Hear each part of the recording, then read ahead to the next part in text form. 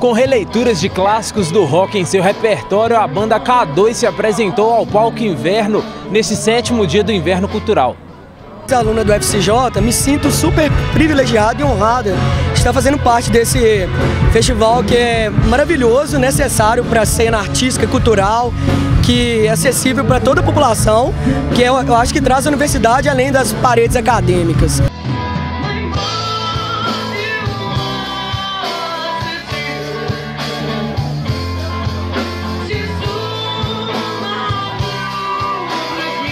faz algumas releituras, é, pensando no, nos arranjos, na, nas influências que a gente tem, né, de, de, que é de rock, blues e jazz.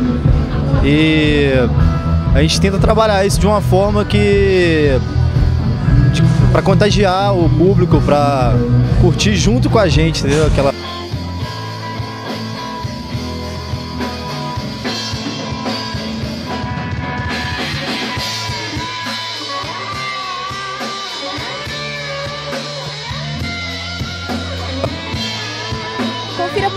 completa no nosso site. Vem pro inverno!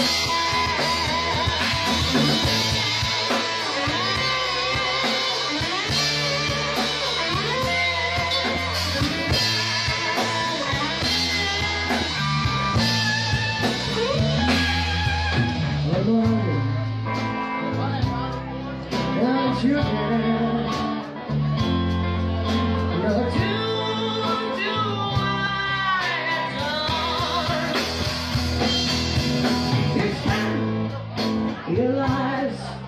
Eu sei.